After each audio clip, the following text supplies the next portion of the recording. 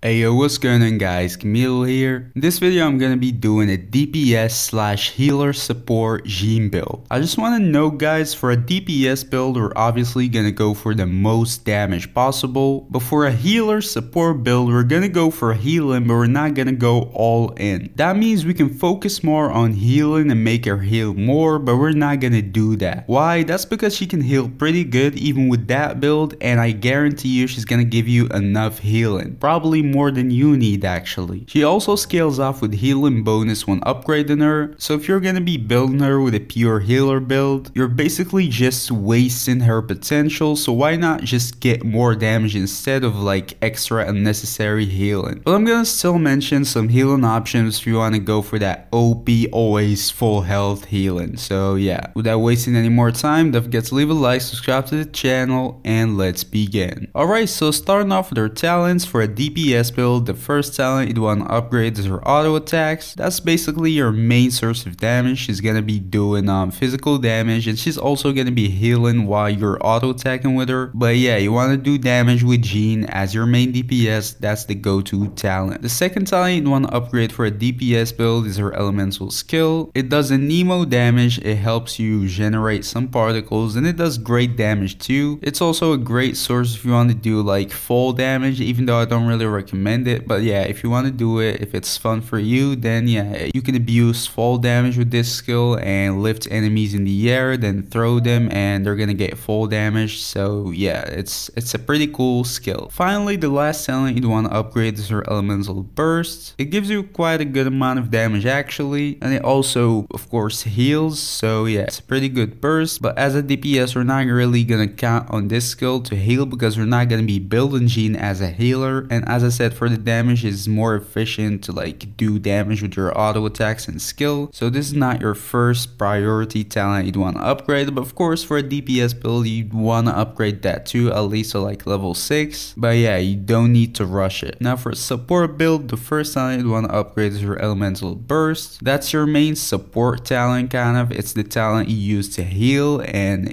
as I said before it does some damage, some good damage. It helps you swirl and stuff like that. So yeah that's your go-to talent. The second talent you'd want to upgrade is your elemental skill. You're gonna be using that a lot to generate like particles and stuff like that and it also does some good anemo damage if you want to swirl. So yeah, that's the second talent you'd want to upgrade. The last talent you'd want to upgrade is your auto attacks. I mean, you're probably not gonna be using that a lot. You may use that to generate like some healing if you can't do your ult yet or something like that. But I don't really recommend you healing with your auto attacks. It's pretty mediocre. But yeah, there's no harm in upgrading it. Alright, so now moving her weapons. For a DPS build, we're gonna do her weapons in tiers. The first tier weapons are gonna be the Aquila Favonia. It's pretty much the best weapon to use on her as a DPS. It has physical damage and a good passive. So yeah, you probably want to go for that if you can. The second weapon the first tier is the Summit Shaper. And finally, the third weapon is the Primordial Jade Cutter. The second tier weapons is the Skyward Blade blade is still a pretty good weapon actually. It has a pretty high base attack and some like energy recharge which is not really your go-to stat on DPS Jean. Also the passive is awesome so yeah it's it's a pretty good like weapon for even for DPS Jean. It falls a little bit behind the other 5 stars but yeah it's still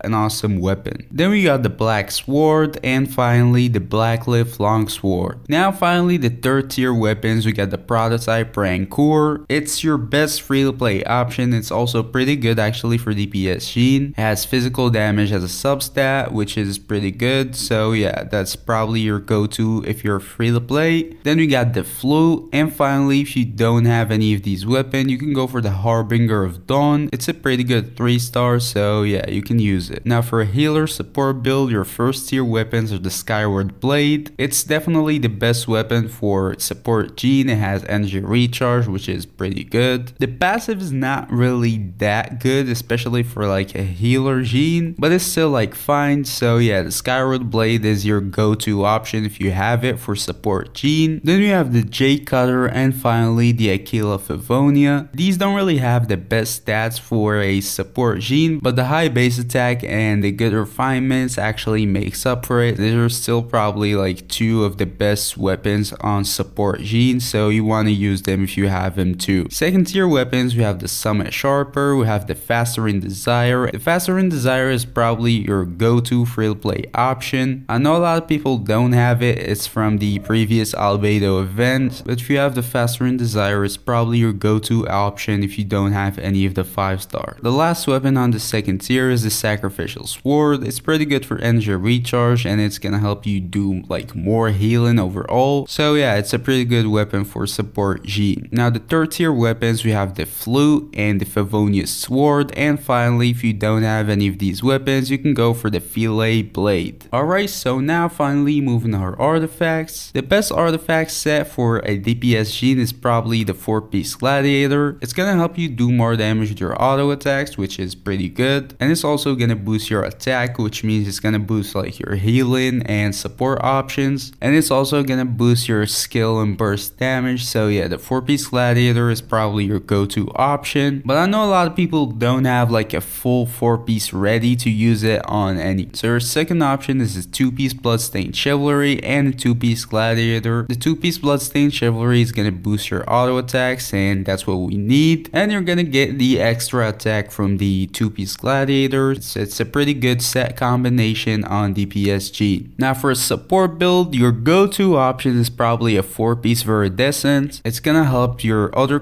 characters do more damage, which is pretty good. And it's also gonna boost your burst and skill damage by a lot. So yeah, you wanna use a 4 piece Viridescent unless you already have another character on your team that uses the 4 piece Viridescent. Then in that case, we all know it doesn't stack, so you're definitely gonna be wasting it, so you don't wanna use it. The second best artifact set you wanna use on Jean is the 4 piece Noblesse Oblige. It's also a very, very good support option, but as I said before, it's like the 4 piece Viridescent. If you're using another character on your team that uses the 4 piece Noblesse Oblige, it doesn't really stack, so you're gonna be wasting it. If you can use a 2 piece Viridescent and you can use a 4 piece Noblesse Oblige, you can go for a 2 piece Viridescent and a 2 piece Noblesse Oblige. That's not really gonna be a great support option, but it's gonna help your Jean do more damage by herself. So yeah, it's still a pretty good option if you can't use any of the other two sets. Alright, so now moving to the stats on your artifacts. For the main stats on a DPS build, you want attack percent on your sands, physical damage in your goblet, then crit rate or crit damage on your circlet. I'm gonna tell you how to decide between crit rate and crit damage in a little bit. For a support build, you want either attack percent or energy recharge on your sands. Also, I'm gonna tell you how to decide in a little bit. Then you'd want either attack percent or Anemo damage bonus in your goblet. You can go with Anemo damage bonus to do more damage with Jean herself, which is what I recommend. And you can go with attack percent to do decent damage with Jean and also like heal more. So if you want like a pretty healer focused Jean, you can go with attack percent on the goblet. If you want to do more damage and decent healing, you can go with Nemo damage bonus. On the circlet, you can go either for healing bonus and attack percent. I personally recommend attack percent. It's gonna boost your healing and it's also gonna help you do more damage. If you want to focus on healing though, you can go for healing bonus too. Now for the substats for a DPS build, your first priority stat is either crit rate or crit damage. Then you want to go attack percent or flat attack. Then finally energy recharge. For a support build, your first priority is attack percent, then energy recharge, then crit rate or crit damage. Now of course this ranking may change and this is how you can tell. So for a DPS Jean, you'd want your crit rate to be around 50 to 70% and your crit damage to be basically double that which is 100 to 140%. So based on that you can decide how to tweak your substats a little bit or what circlet you should go for either crit rate or crit damage and for a support Jean, you'd want your energy recharge to be between 160 to 190%. Based on that you could decide what to go for on your sands either attack percent or energy recharge and of course which substats you should prioritize. Alright so now finally moving our team comps I honestly don't have really much to say. I mean she's Anemo and she doesn't really require much to use. She requires you to invest in her gear but she doesn't require like a whole team built around her to be like used in the best way so yeah